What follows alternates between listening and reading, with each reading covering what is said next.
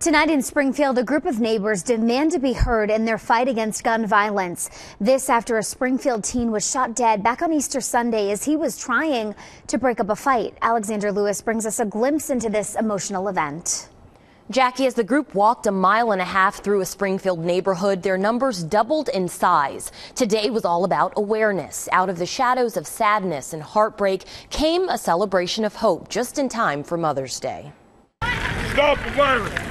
United Voices with a united message. A dedicated group calling for the end of gun violence and honoring the lost.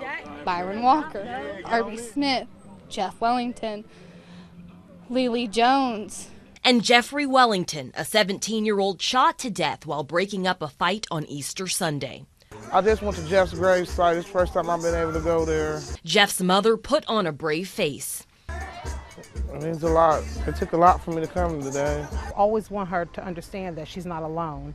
You know, there's a lot of people out here that are going through this. Lakiesha Cole wasn't the only broken heart at the picnic.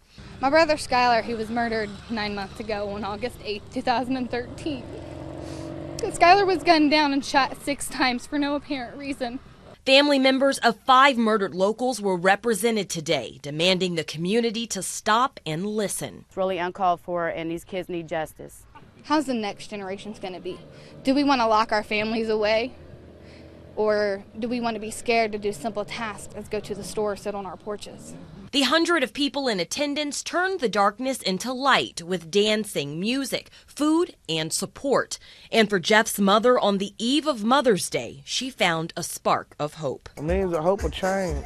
Nobody else had to go through what I just had to go through. Jeff Wellington's suspected murderer, was arrested in Dayton this week, and that's why Lakiesha tells us she's finally been able to visit her son's grave today. Jackie.